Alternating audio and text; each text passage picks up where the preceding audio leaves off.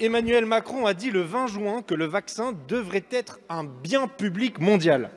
Mais la France a voté à deux reprises contre une résolution pour lever les brevets, en s'opposant en octobre et en mars à des propositions déposées à l'OMC, notamment par l'Inde et l'Afrique du Sud. Et l'aéropage des ministres nous, ont expliqué pendant des semaines que la levée des brevets ne servait à rien, pire que ça nuisait à l'innovation et à la recherche. Rappelons que jusqu'en 1959, il n'était pas possible de breveter les vaccins.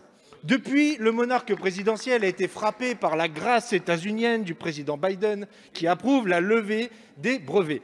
Évidemment, la levée des brevets n'est pas une condition suffisante. Il faut imposer aux industries pharmaceutiques d'intensifier la production des vaccins Covid-19 en supprimant les barrières qui pèsent sur les capacités d'approvisionnement, en partageant les technologies et en mettant fin au monopole qu'ils exercent sur leurs vaccins respectifs. Selon des données de l'UNICEF, seulement 43% des capacités mondiales de production de vaccins sont actuellement utilisées. Oxfam a récemment pointé du doigt les entreprises Moderna et Pfizer-BioNTech qui, fortes de subventions publiques d'ailleurs, rationnent artificiellement l'approvisionnement en vaccins. Le refus de partager leur technologie impose que les États procèdent à des réquisitions et des mises en partage. Alors que les variants se multiplient et que la situation en Inde s'aggrave, l'urgence est là.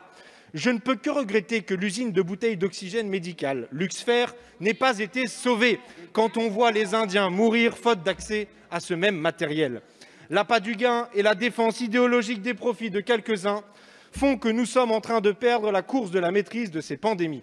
Vos tergiversations depuis un an démontrent un aveuglement cupide qui tue en Inde, tue en Afrique et tue en France. La pandémie est mondiale. Il faut produire partout des vaccins et des remèdes libres de brevets. Quand allez-vous enfin proposer une résolution à l'OMC pour demander la levée des brevets? La parole est à Monsieur Clément Beaune, secrétaire d'État chargé des affaires européennes. Monsieur le président, mesdames et messieurs les députés, monsieur le député Hugo Bernasilis, puisque vous parlez de grâce, je suis euh, vraiment fasciné de voir à quel point aussi vite euh, votre leader n'est plus Jean-Luc Mélenchon, mais Joe Biden depuis quelques jours. Et regardons au-delà des slogans la réalité. Vous parlez de bien public mondial, nous l'avons fait au lieu de simplement le dire. Cela fait un an que c'est la France et l'Europe qui défendons, qui défendons d'avoir ce vaccin comme un bien public mondial. Avoir un vaccin comme bien public mondial, ça ne veut pas dire aujourd'hui lever les brevets, c'est un débat qui viendra dans son temps, mais aujourd'hui ça ne sert à rien, je le maintiens. Ça ne veut pas dire que cette discussion ne s'ouvre pas, ça veut dire que ce qu'il faut faire aujourd'hui, c'est de produire, d'exporter, de donner des doses aux pays qui en ont besoin. Qui le fait? C'est la France et c'est l'Europe. Combien de doses les États-Unis ont exporté Zéro. Combien de doses l'Europe et la France ont exporté vers les pays d'Afrique, vers les pays qui en ont besoin?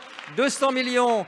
Nous exportons la moitié de notre production et c'est notre honneur, c'est notre devoir, car c'est comme cela que nous répondons aux difficultés réelles. Ce débat, nous l'aurons, ce débat, nous l'aurons, mais la directrice générale de l'OMC, Madame Ngozi elle-même, a dit qu'aujourd'hui, ce n'était pas la priorité. Donc soyons, puisque nous partageons l'objectif, puisque nous partageons l'objectif de donner accès concrètement à tous au vaccin, continuons à soutenir l'initiative COVAX. Je me réjouis que les États-Unis désormais veuillent donner, c'est nous qui le faisons depuis un an. C'est cela qui permet aujourd'hui de livrer de premières doses aux soignants africains. C'est la France qui a commencé ces livraisons dès le mois d'avril et qui le continuera. Nous sommes ouverts à l'ensemble des solutions. pas, ça gêne Madame Nous sommes ouverts à l'ensemble des solutions, mais ce n'est pas vrai de dire qu'aujourd'hui le problème c'est la propriété intellectuelle, le problème c'est la production et l'exportation. Et puisque vous voulez que nous combattions ensemble dans cette direction, demandons ensemble, comme l'a fait le président de la République ce week-end, au président des États-Unis, au Premier ministre britannique, de lever les interdictions d'exportation. C'est ça la priorité aujourd'hui. Et ensuite, nous travaillerons sur les brevets. Merci, Monsieur.